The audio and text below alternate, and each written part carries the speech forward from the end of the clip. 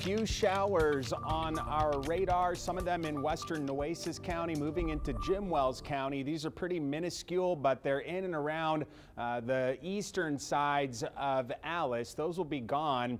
Uh, in an hour or two as we lose daytime heating. It's fairly quiet throughout much of the state.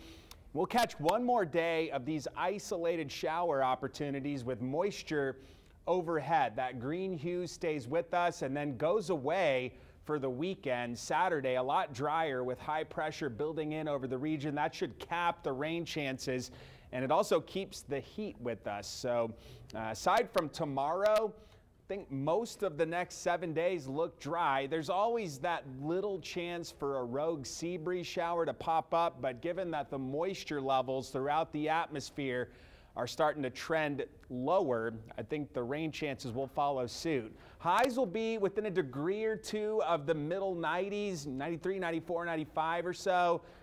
A lot of humidity through Friday, so heat index going to flirt with 110. Over the weekend, you'll see how the heat index values they drop off just a little bit. We might only be in the lower 100s come early to middle parts of next week, and that has to do with just a subtle drop and the dew point values. We'll go from the mid 70s in this department, perhaps into the low 70s, upper 60s uh, into early next week. And that little change is enough to make a big difference on how hot it feels outside. Tropics, remnants of Gordon. Well, now they're calling it a tropical wave. This was a tropical storm at one point. Whatever uh, this does as it moves north, it would regain uh, the name Gordon if it can develop, a medium chance there. And then this, this area we've been looking at, the Western Caribbean, is still posted for a 20% chance to develop over the next seven days. This would be a next week thing. And the data, you know, we're talking about a week's time. We might see this stretch a little bit farther to the west. It's possible we see some development in Campeche too, but this is something to watch. You know, yesterday we were talking about high pressure and what this would do.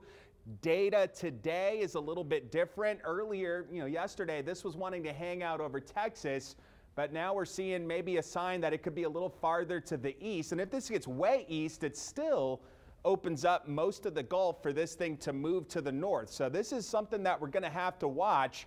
Uh, a lot of uncertainty, though. Does it even develop at all? Where is the high pressure center? And how strong will it be if it does develop? All of that's in question. So, keeping up with the latest important. We're still in the middle of hurricane season and we're not done yet. 78 our overnight low tonight. Southeast breeze 4 to 8 miles per hour. Tomorrow, hot, mid 90s, an isolated shower. Going to feel like it's close to 110 outside with the southeast breeze 5 to 15 miles per hour. Some light chop on area bays. Southeast breeze again, 4 to 11 knots, just one to two foot waves at a fairly short period, four seconds there. And aside from the isolated rain tomorrow, I don't see a ton of you know change from day to day over the next seven days. We do move into fall on Sunday, but temperatures, as they often do in South Texas, say, I don't care that the calendar says it's now fall. I am still yeah. to this day amazed. 94 degrees on yeah. the first day of fall. But yeah. October it gets better, but yeah. Yeah, hmm. yeah well, it's not right. going to feel fall. We'll get there. We're not going to worry about it. All right, thank you, Al.